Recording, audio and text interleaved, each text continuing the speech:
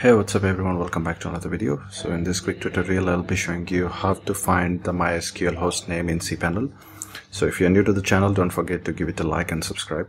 Let's get started. As you can see we are inside the Google Chrome. I'll quickly log into my cPanel. So you'll have to log into your cPanel with the username and the password. And under cPanel you'll have to go to file manager under files. Just open file manager and uh, navigate to public underscore html and open that file and here you'll see all the website files. Uh, you have to go to this file wp configure. If you don't see this file just click on settings and uh, make sure you check on this show hidden files. So that way you'll be able to see all the hidden files.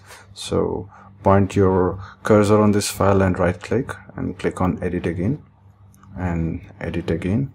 And here if you scroll down you will see this database username. So this is the username and database hostname this is your mysql hostname so if you need uh, the mysql hostname for some projects to connect your website or with the cpanel or from the data transfer or the migration this is how you can check your mysql uh, database hostname i hope you found this video helpful. Thank you so much for watching. I'll see you in the next one. Bye bye